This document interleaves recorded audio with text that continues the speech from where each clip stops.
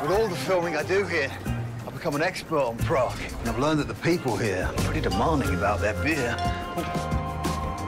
There's one thing I can't figure out.